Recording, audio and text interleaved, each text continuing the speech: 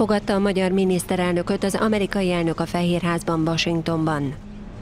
A megbeszélés témái között kiemelten szerepelt a biztonság és a migráció kérdése.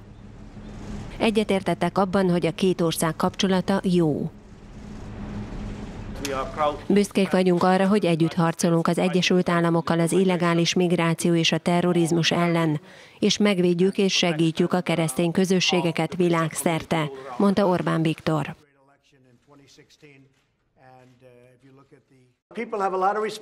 Az emberek nagyon tisztelik ezt a miniszterelnököt. Kemény, de tisztelik őt, és helyesen cselekedett a migráció esetében. Európának azért vannak nagy problémái, mert másképp kezelték azokat, mint a kormányfő, jelentette ki Donald Trump. Orbán Viktor látogatása illeszkedik az amerikai külpolitika irányváltásába.